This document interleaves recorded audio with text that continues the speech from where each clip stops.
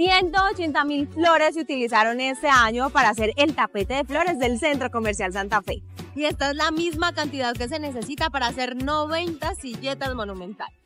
El tapete de flores del Centro Comercial Santa Fe en su treceava edición presenta este año un gran caballito de mar, una escena marina que nos permite generar conciencia en el cuidado de los mares, de los ríos y de todas las especies marinas. Todos los días desde nuestra posición tenemos que contribuir a la sostenibilidad y por supuesto al cuidado del planeta.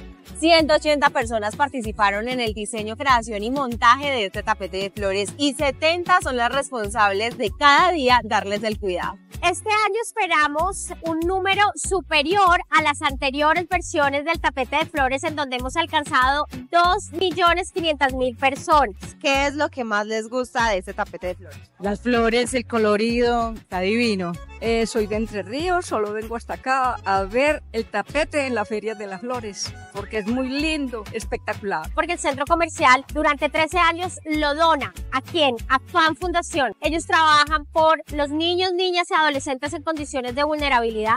Definitivamente todos tenemos esa responsabilidad de poder donar con el corazón y podernos llevar un pedacito de tapete a casa. Sumarnos a esta gran causa es muy importante y estaremos hasta el primero de septiembre.